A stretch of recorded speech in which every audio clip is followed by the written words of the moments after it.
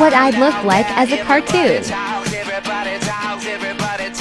There he is! There's my favorite